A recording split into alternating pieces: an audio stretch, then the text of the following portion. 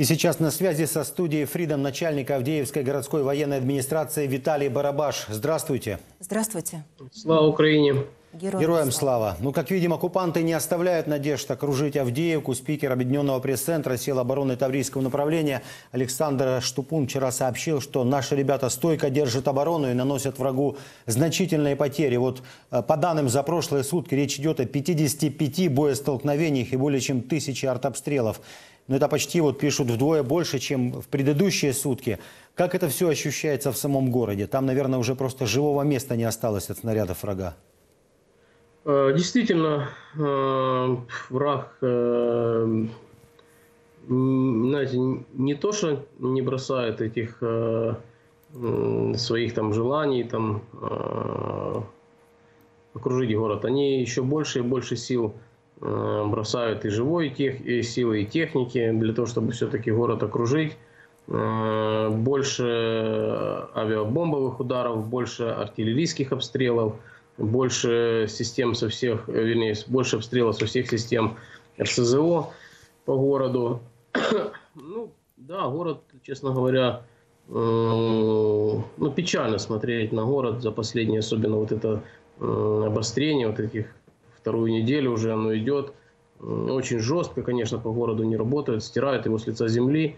Ну, сказать, что нет ничего живого, ну, практически да, хотя люди э, живут в нем, люди остаются в нем, к сожалению. И вот сюжет, который был э, перед про эвакуацию, про белых ангелов, э, ну, знаете, как бы то знаю ребят э, очень давно, это местные жители, представители Белого Ангела, да, это полицейские, которые действительно э, рискуют э, своей жизнью. Вот эти кадры, которые вот вначале было Дима, да, молодой полицейский, который э, комментировал, ну, прискорбно, что вот поехать передать привет, узнать, как ли там бабушка, люди рискуют жизнью. Кто-то находится, не знаю, там в других более безопасных территориях и не могут уговорить своих там, близких, бабушек, э, родителей выехать из города. А чтобы просто убедиться в том, что они живы, там, э, молодые парни должны рисковать жизнью. Ну, на, на, на мое мнение, это неправильно, так не должно быть. Максимально люди должны выехать из города, не, э, знаете, говорят, не подвергать смертельной опасности вот этих ребят, полицейских, представителей военной администрации, волонтеров, которые завозят э, гуманитарную помощь в, город, э, пытаются людей уговаривать на эвакуацию. Ну, неправильно это все. То есть нужно выехать, действительно нужно эвакуироваться. Ну и военным однозначно будет проще работать. В городе, ну, на самом деле очень все сложно. Но бабушку в результате мы видели, все-таки эвакуировали, просто вот вынесли со стульчиком с этим, да, но ребята рисковали, вот эта вот бомба просто же в двух шагах от них упала. К сожалению, это каждый день такие истории, и их действительно сотни историй, э, десятки сообщений в сутки на, на все, все возможные э, мессенджеры с просьбой о помогите, о спасите, э, посмотрите, живы ли, здоровы, приезжаешь людей уговаривать, и они отказываются. То есть вопрос, зачем было рисковать жизнью, чтобы люди тебе в очередной раз отказали в эвакуации. К сожалению, люди не думают о том, что ну, вот, ну реально, молодой парень э, рискует своей жизнью для того, чтобы э, попытаться в очередной раз у кого-то уговорить. И, к сожалению, очень редко э, люди соглашаются на эвакуацию. Уже десятки раз с ними были эти беседы э, проведены, и все равно мы, мы должны это делать. Но, к сожалению, люди не соглашаются. Но мы это делали, делаем и будем делать. Да, я думаю, мы вернемся еще в разговоре к гуманитарным вопросам. Хотел бы вот э, немножко более военные с вами еще обсудить. И вот э, 22 октября Министерство обороны Великобритании в Твиттер со ссылкой на данные своей разведки сообщило, что недавние вот эти российские атаки в Авдеевке привели к 90% увеличению потерь э, среди россиян, вот зафиксированных Министерством обороны Украины. О колоссальных потерях врага под Авдеевкой даже президент Украины Э, говорил э, в телефонном разговоре с канцлером Германии. Я так понимаю, что враг не жалеет ни сил, ни средств и пытается штурмовать так же, как они это делали в Бахмуте. Да, действительно. Ну, Бахмут отличается тем, что ситуация по Бахмуту и у нас тем, что там они шли в лобовую в город, В связи с тем, что Авдеевка укреплена с 2014 года очень, скажем так, сильно, и этой возможности у них нет, поэтому они пытаются город окружить. Но бросают они силы однозначно не меньше, чем на Бахмут. Потери у них не меньше, хотя вот мы знаем, несколько дней назад был рекорд по потерям, да, там 900, э, тогда был рекорд вообще по потерям у врага. 55 танков, насколько я помню, была такая цифра очень большая называлась, да. Да, ну я по личному составу больше, 1380, по-моему, был рекорд, 900 из них это Авдеевское направление. Я уверен, и все мы прекрасно понимаем, и военные, что те цифры, которые мы даем Э, потери с их стороны, они в, реаль, в реалиях они занижены, потому что э, не всех мы видим, то есть э, военные, когда дают эти цифры, когда генеральный штаб их сводит в общую, так сказать, сумму, то есть только подтвержденные, то есть каждое тело, вот его нужно зафиксировать, нужно показать, в реалиях мы понимаем, что их, их ну, может быть, не в разы, но ну, на порядок больше. Этих потерь и живой силы, и техники в том числе. Понятно, что после завершения и там, того, когда все-таки ну, врага ну, погоним чуть дальше, мы, мы э, э, этих, ну, этих подтверждений будет в разы больше. Мы это прекрасно понимаем. Но это еще не говорим о санитарных потерях, это не безвозвратные потери, а санитарных должно быть еще больше, чем... Э, в разы. Да, в разы.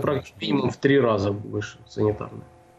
Такой вопрос хотел вам задать. Представитель 110-й отдельной механизированной бригады Антон Кацуконь заявил, что россияне начали рыть какие-то тоннели в направлении Авдеевки. Таким образом, вот они пытаются как-то подобраться поближе к украинским позициям. Вы ну, хорошо знаете местность. Вот это вообще возможно? И если это правда, то это уже просто какая-то тактика Хамас? А, ну, как угодно мы там, за последнее время там, войны Э, называем там представителей этой э, недонации, да, но кротами мы их еще не, не называли. Хотя вот, вот эти, э, не знаю, может они там, знаете, вжились в роль там шахтеры, Донбасса, там, ну не знаю, может какие-то игры у них там, не знаю, игрища.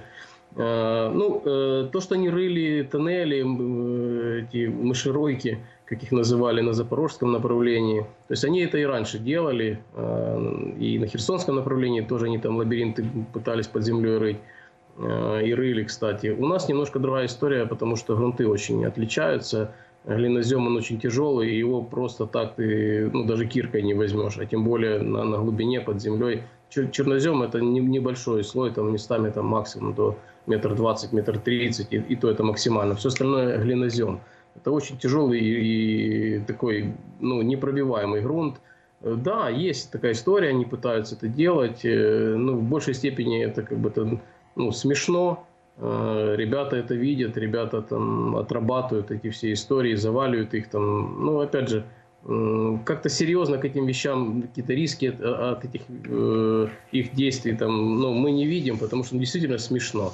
Ну, вырыт он себе нору, там пророет он ну, 3-4 метра, его артиллерии завалят, и как бы то на этом все заканчивается. Роют, есть, роют есть... себе могилы, да, фактически? Ну, склепы, наверное.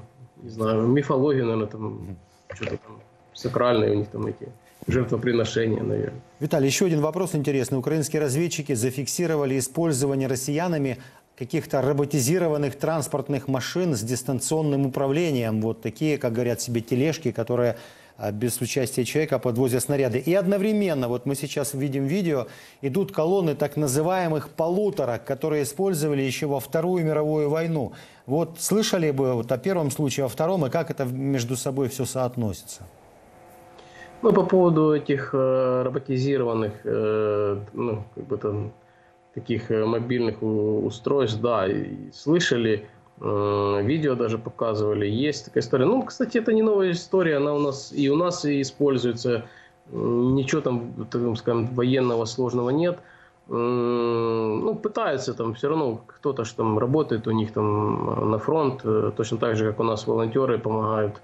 У них там тоже э, эти вещи моделируют, проектируют. Это не массовые, как бы то там какие-то выпуски такой техники.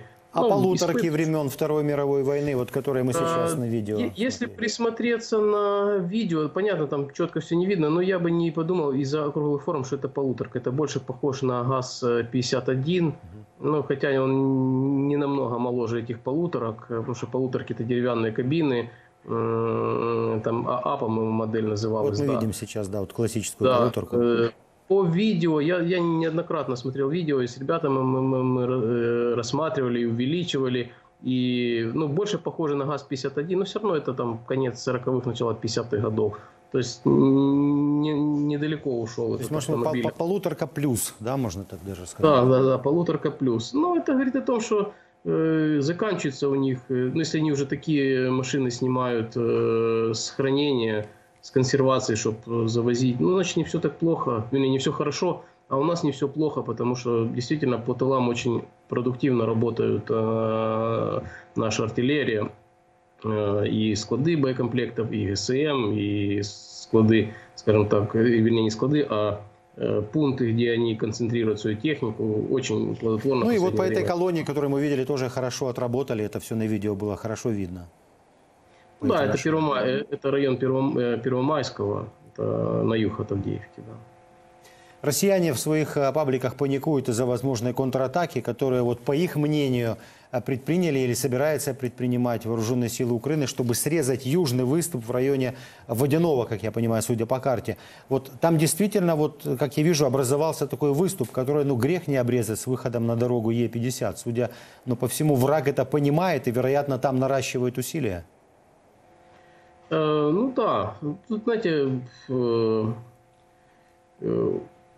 глядя на карту, вот э, понимаешь, ну, вот лю, лю, любая какая-то там позиция, какая-то там локация, ну, они действуют шаблонно. То есть они действуют шаблонно, вот как, как говорят военные, как книжка, да, пишет, как книжка учила, военная книжка.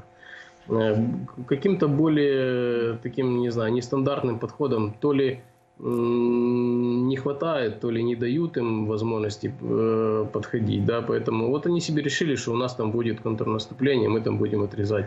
Ну, пусть думают, они постоянно говорили о том, что э, основной удар контрнаступления нашего будет на Донецком направлении, и они продолжают эту, не знаю, этот миф э, рассказывать и дальше жителям того же ДНР, ЛНР так званых, жителям, не знаю, там всей России ну, нужно же как-то оправдывать такие большие потери личного состава и такое нерациональное использование там, техники, да, это надо, нужно как-то объяснять. Но почему не придумывать такие сказки, что вот там Украина пойдет в контрнаступление? Все прекрасно понимают, что на подготовленные позиции, ну, кроме дебилов Кацапов, никто не пойдет. Ну, Тавдеевка фактически сейчас это ворота выхода оккупантов на всю Донецкую область. Об этом говорят многие эксперты. И о том, что очень важно удержать город. Говорят об этом и в Главном управлении разведки. Вот именно Авдеевка вот сейчас стоит у россиян костью в горле, да, когда Путин в очередной раз ставит им задачи по выходу, как он говорит, на админграницы области.